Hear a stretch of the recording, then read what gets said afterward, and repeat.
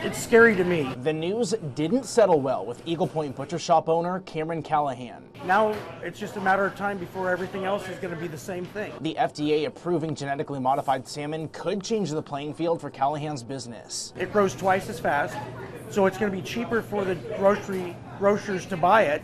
So it'll be cheaper for the consumer but they don't have to tell you it's GMO, so you won't even know you're buying it. He says he will have to stay competitive with other stores who do sell it. I'll know because I'll be my competitors blowing me out of the water with fish prices that they can do half of what I'm selling it for because they're doing a genetically modified fish. Callahan refuses to let a genetically modified organism hit his shelves. I don't think it's right.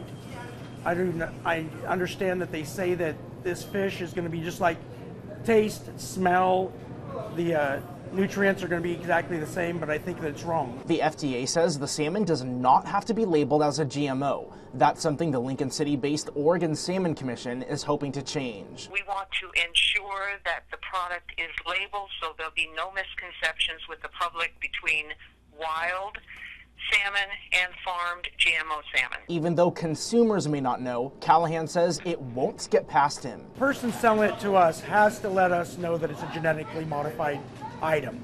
So it will say that on the invoice if I were to accidentally get it. Covering your news, Justin Matthews, News 10.